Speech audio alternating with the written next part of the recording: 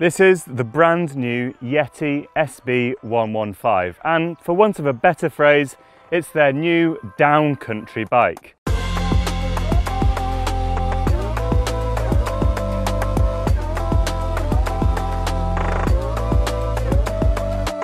Now what is downcountry? They're kind of jacked up XC bikes that are a little bit more capable than a traditional XC race bike. As you might have guessed, it's got 115 millimeters of rear wheel travel and that's paired with a 130 millimeter fork at the front.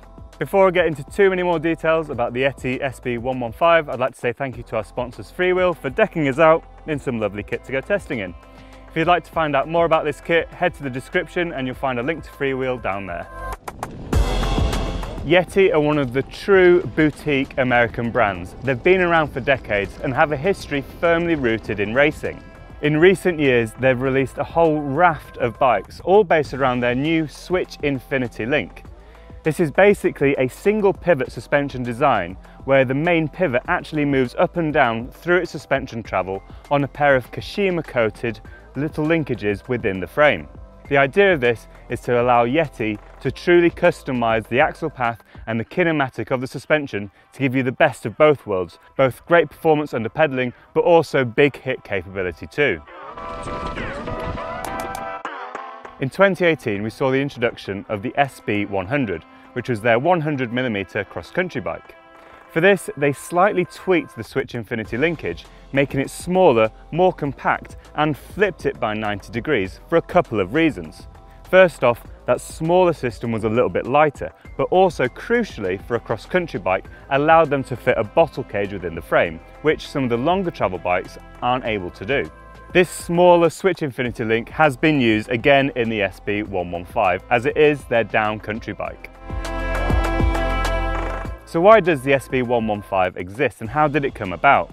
I asked Yeti this as the frames between the SB100 and the 115 look very, very similar. The reason is a lot of the guys in the Yeti offices had the 100 and they found it super capable on increasingly technical terrain. So they wanted to see how far they could push the chassis. So with a few little tweaks to the linkages, longer stroke shocks and obviously a slightly longer fork, they ended up with 115 mil of travel at the back. Now Yeti say that this isn't a slightly jacked up SB100, it is a separate bike for a kind of different category of riders. Yeti say that this is their kind of lunch ride bike, so for riders who want a fast, attacking style, aggressive little trail bike that can still hit relatively technical terrain. As such, they're targeting it at riders who would compete in things like the BC bike race. So long marathon events with plenty of fairly technical single track, but long climbs and big distances. As such, this is a bike that can, in theory, handle slightly chunkier tracks, but still has that whippy, tight, solid feeling that a cross-country bike also has. So what is the point in the Switch Infinity linkage that Yeti have designed across their range? The idea is to be able to separate the pedal-induced forces, such as the anti-squat, from those of the leverage rate and the leverage curve provided by the rear suspension's kinematic and shock. This means that they can have a bike that not only pedals well, in theory, but then also has that super progressive, nicely supported suspension feel without the two interacting too much. Usually when you get a bike that pedals well, so has a high anti-squat figure around the sag point, you get that pedal kickback when you hit a bigger hit because the chain stays extended, pulls the chain back and you get that kick through the pedals. By having that main pivot moving up and then down, what they do is keep the anti-squat relatively high around the sag point and then it drops away the further you get into the travel, meaning there's less of that pedal kickback. The leverage curve for the rear suspension is much more linear than it would have been because they can separate it from the anti-squat. Well, this means that the shock is better able to cope with a small bump, so the sensitivity is there. There's also plenty, in theory, of mid-stroke support, which is kind of what you want with a shorter travel trail bike. And there's all that ramp up needed right at the end of the stroke so that it copes with those bigger hits. So that's the theory of the Switch Infinity Link. Now the architecture of it is basically these two small stanchions on which a shuttle moves up and down holding that main pivot. Yeti say that there's a 40 hour service interval for that and you need to keep it running nice and smooth. It's got grease ports on there. It's also protected by a little bolt-on shield to stop it getting too muddy. Should be pretty easy to look after, I think. The other advantage of that slightly tweaked Switch Infinity architecture is that you do get the bottle cage in the frame, but also a pretty much full length seat post, so you can run like a 170 drop dropper should you wish, at least on like the mediums and larges. Yeti offer their bikes in two different carbon layups, I guess. The top one is called the Turq series, and this gets a slightly higher grade carbon fibre and a slightly different layup to the C series carbon, which is slightly cheaper and allows them to bring the bikes in at a lower price. The difference in weight is roughly 200 grams. So looking a bit closer at the frame, some of the details include a PF Press Fit 92 bottom bracket. You do get frame protection in there to keep the carbon nice and safe from rock strikes. 180mm rotor clearances and 2.4 inch tyre clearances down there. Though looking at it, it's fairly tight down there, especially if you do ride in the mud a lot. You do get ISCG 05 mounts, so if you do want to run a chain guide or a bash guide, you can do so. With a round chainring, you can run down to a 26 tooth chainring, so that's super low if you live somewhere like really steep. And if you want to run an oval, you can get a 28 in there. If you're looking at the bigger sizes, you can get a 34 tooth oval or a 36 tooth round if you've got real strong legs. So next up, I'm going to tell you about the geometry of the bike and then we're going to go through the different models that are available before giving you some ride impressions before we finish. But in true BikeRadar tradition, I've got some notes because I can't remember everything off the top of my head. So pull out the trusty phone. So the geometry of the SB115 is actually very similar to the SB100. So you get a 67.6 degree head angle, which is, it's not slack for a trail bike, but it's not ridiculously steep. And you get a 74 degree seat angle. So not hugely steep, but again, not so much rear travel. The reach is 450.1 millimeters, which for a size large is actually fairly short these days. The chainstays feel nicely balanced, they're 436.7 millimeters. The seat tube on a large is 457 millimeters, so this is actually quite short and this is how you can get away with those longer dropper posts. If the seat tube is longer, there's less real estate to play with in terms of drop, so nice and short on the seat tube. Overall, you get a 1,180.6 millimeter wheelbase, which is not super long, but kind of middle of the road for a short travel trail bike maybe. You do get a 44 millimeter offset fork. What this means it's a shorter offset than what you might have got previously. This gives a longer trail and means that you get a bit more stability and a bit more calmness on steeper, looser tracks. And that's generally speaking a good thing, especially on a shorter travel, a little bit steeper little trail bike.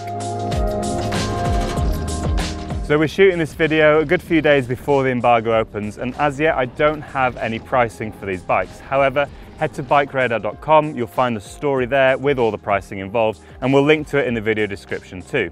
I do, however, have a vague description of all the different models that are going to be available, and there are going to be five on sale. So there's two grades of carbon, as I mentioned. In the C series, you get the C1.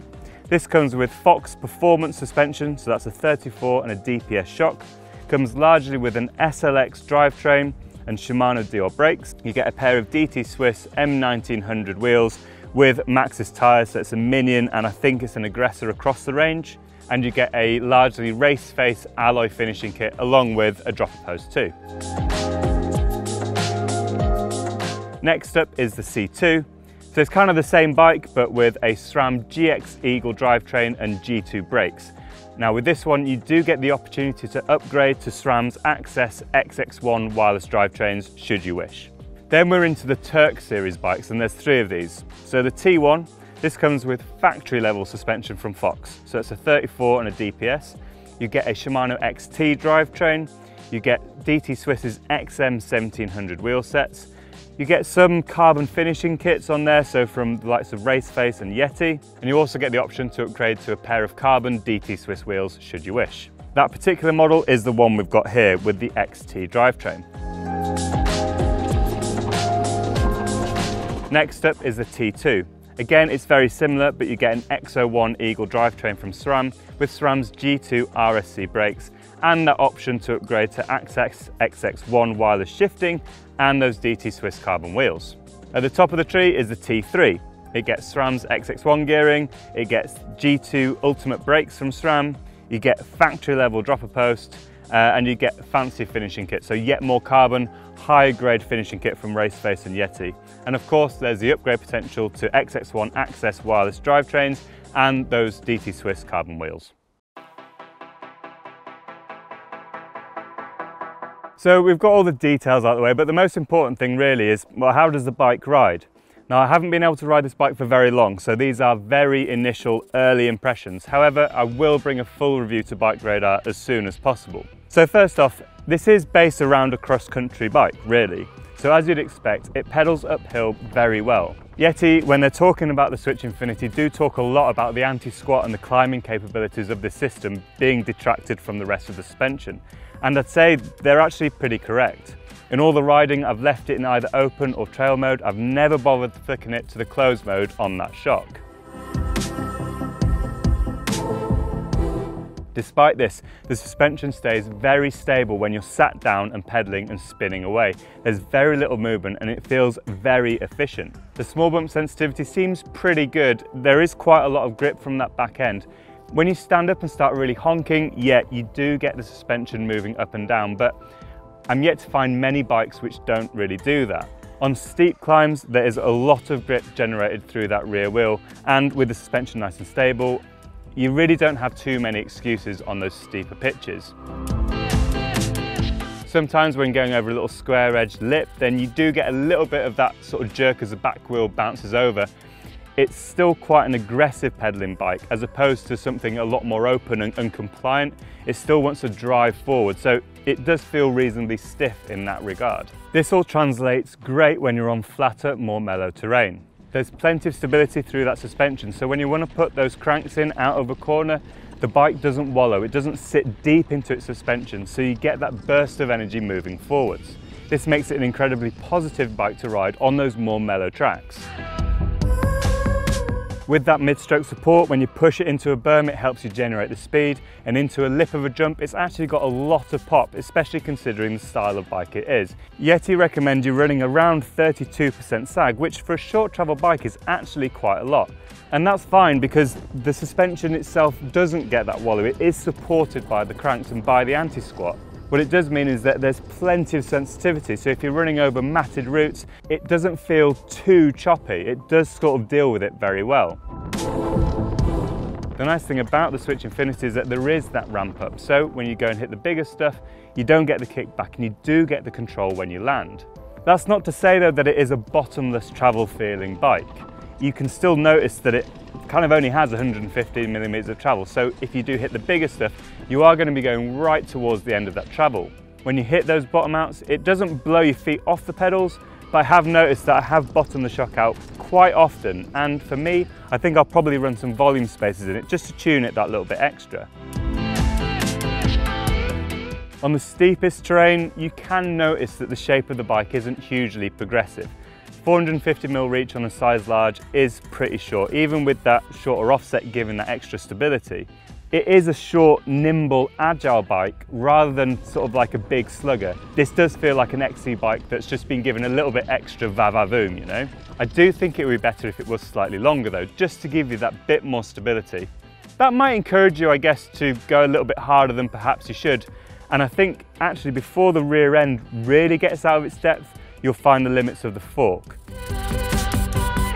So the Fox 34 has slightly narrower stanchions than say a Pike or a Lyrik or a Fox 36. And that does mean that the fork is a little bit more prone to fluttering forward and backwards. It is lighter though and it does suit this style of sort of slightly longer travel XC bike. What I'm saying is don't expect this bike to go and hit the biggest, chunkiest enduro tracks and come out of it feeling great. You know, you're gonna have to work it. So what is this bike really like? It, it feels on initial impressions like a bike that really rewards a lot of rider input. You've got to work it around, you've got to muscle it around, you've got to pick good lines. But it sort of, it gives you that back. It's, it's fun to ride. Like these trails that we're riding on here today are relatively mellow, but they're fast. There's loads of corners, there's lots of berms and jumps. And it's just a little bit of a riotous bike to ride. The climbs back up pretty easy. And it's just a solid feeling bike. It's not without its problems, but I do quite like it. As I said earlier, these are very early impressions though. The weather we've been having at the moment has been glorious. I've been loving life. And I've been riding tracks that I really enjoy riding. So that often does help with how you sort of perceive a bike. I have really enjoyed riding it, but I think I need more time on it to give a full review, which will be on bikeradar.com very soon. I don't think it's without its faults. If it was longer, it would be more capable on those steeper tracks. But if it was more capable, you'd probably hit things a bit faster and a bit deeper, and you'd probably start to notice the shorter travel at the back, and you would certainly start to notice that fork. But it is a bike that feels like it could have a lot of potential for the right kind of rider. As I say, down country, it, you might hate that phrase, but it does kind of quite well describe this kind of riding. And this kind of riding's hella fun, you know? So maybe they're onto something here. So this is the Yeti SB115. It's their downcountry bike. What do you think about downcountry? Is it a thing? Should it be a thing? Should it not be a thing? Let us know in the comments. Also, don't forget to like and subscribe and click the bell icon so that you get a notification every time we bring out a new video.